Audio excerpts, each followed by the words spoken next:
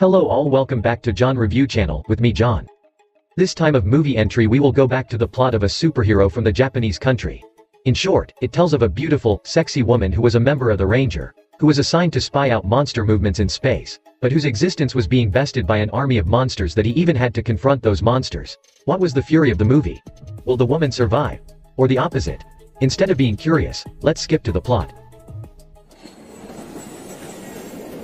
At the beginning of our film was shown a surveillance airplane, inside which was a member of the White Ranger, where he was controlling the plane and reporting to headquarters, showing that the aircraft was fine without any interference, but suddenly there was a shock with the plane, which sent the White Ranger flying. There's been an attack from another plane out of nowhere and for what purpose? The White Ranger is trying to jump-start the plane back to normal, but unfortunately, because the main engine has been damaged so even the plane can't be controlled, in the middle of the panic with the White Ranger, there's been a sudden surge of shock that made the White Ranger fly so that it makes it back into human fashion, in which this is the White Ranger's human host, which rendered Yuna unconscious. After some blackouts, Yuna finally woke up, and how surprised he was to find out that the plane had been hijacked by the monster army. Hiding out Yuna and listening to the monster's conversation, which apparently the monster army was planning to capture Yuna, who heard it and then went to the monster army and went into ranger mode. But our chief monster calls him the red monster, not the slightest fear of the white ranger where he believes in himself that he will defeat the White Ranger. The Red Monster then orders his army to fight the White Ranger, so there's a fight there.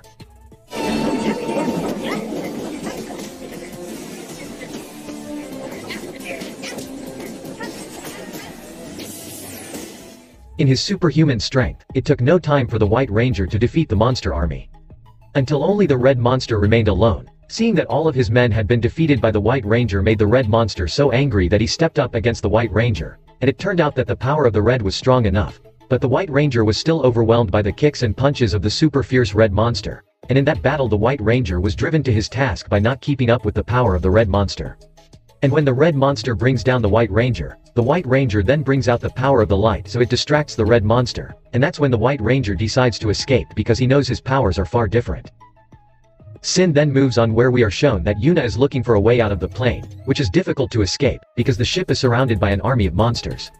In the middle of that struggle, the red monster suddenly came back with its army. The red monster told Yuna to surrender, but of course Yuna would refuse to give up, and Yuna chose to fight back with the red monster even if he had to, because losing before the fight was just a loser. Yunka went back to ranger mode and fought against the red and monster army.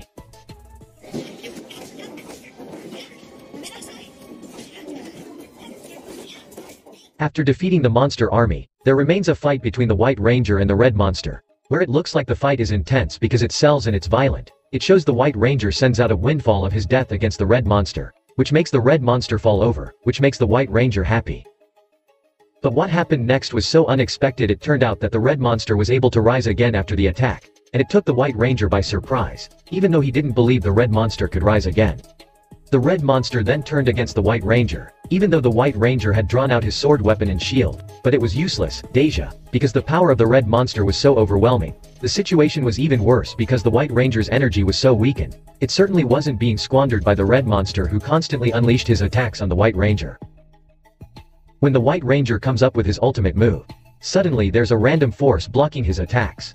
The image of the Monster Queen coming in with the Monster King. It only seems to make the White Ranger more vulnerable. And it just drives the White Ranger mad, but what power this time has been. According to the massive power loss, the Queen Monstetsons has come down to take out the White Ranger. But it turns out the White Ranger still has a weapon which is a Bazooka weapon, but when the Bazooka was fired upon the Monster Queen, it was able to capture it and reverse it to the White Ranger, thereby making the White Ranger fall, and as a result of the effects of the basking shot, the glass smashed his head and severely injured the White Ranger whereupon he was continually tortured by the blue monster and the monster queen with no more resistance, which then left him powerless.